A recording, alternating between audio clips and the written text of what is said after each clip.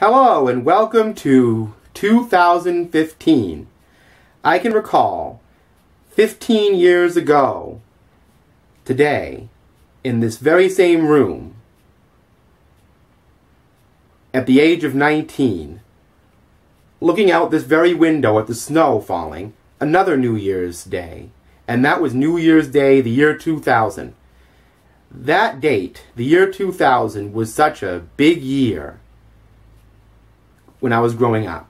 And I remember seeing a movie called Back to the Future Part 2, where Michael J. Fox and Christopher Lloyd go in their time traveling DeLorean to 2015, and people are driving in flying cars, and they're using trash to fuel them, and they actually have computer interfaces all over the house, and everything looks very Art Deco, and everything is very renewable, and you can see that the future seemed to basically do okay. People had failures, but, you know, it was a really successful looking future, basically, aside from the trials and tribulations of humanity.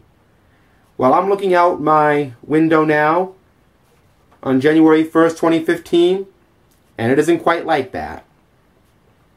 On that day, 15 years ago, I was listening to a song that I had just received as a Christmas gift on a CD called The Year 2000 by the O'Jays.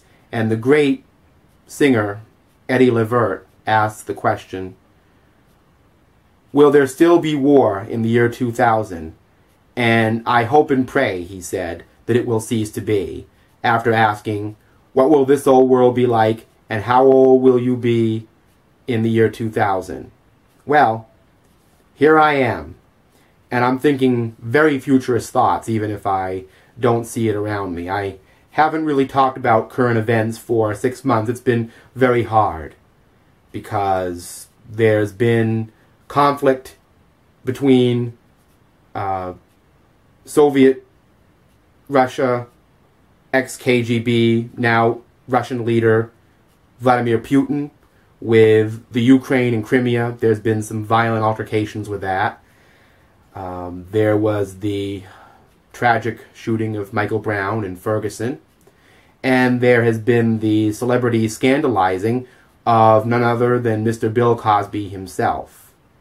But there was also another song that came out this year by a man named Pharrell Williams called Happy. It took the world by storm. You actually had people all over the world on YouTube. You can go see it right now dancing to this song. Even people in Russia, people in the Ukraine, people in Budapest, everywhere in the world, to a song that asks the question with perfect clarity.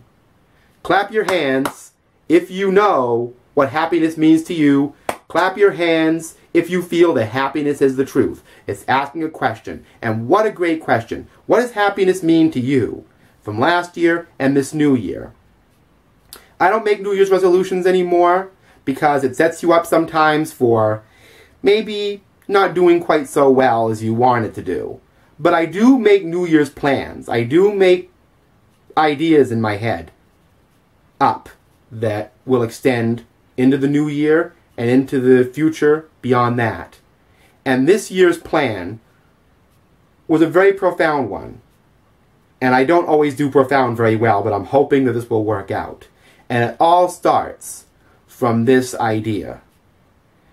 I think that a lot of people, especially around me, in this town, in the state, and perhaps in this country as an entirety, have forgotten how to understand how differences unite us rather than pull us apart.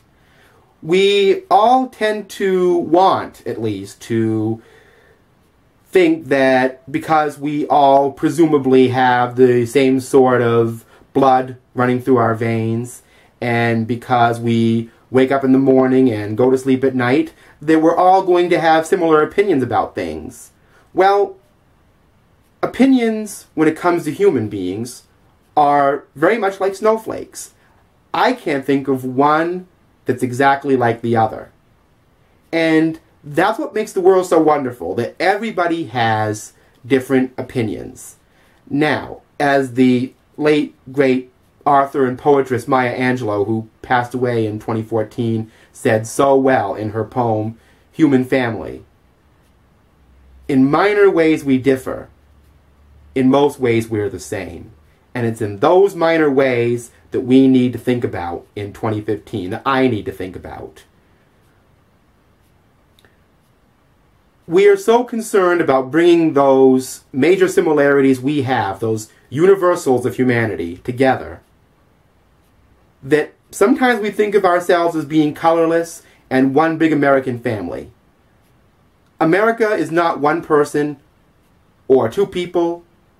America's a quilt. The world's a quilt. It's a beautiful quilt. All the colors come together in harmony, but you need to have those colors the way they are. They can't all be made to look more the same. You can try, you can attempt to force it, but it's not going to happen. And my New Year's message for myself and for all of you out there is to remember the late Maya Angelou's words. In minor ways we differ, in most other ways the same. Think about those minor ways in which we differ and how you can enjoy those minor differences rather than try to make people colorless or more the same. Happy 2015 and happy 2015, everybody. Be loving, be different, be yourselves. Thank you. Peace.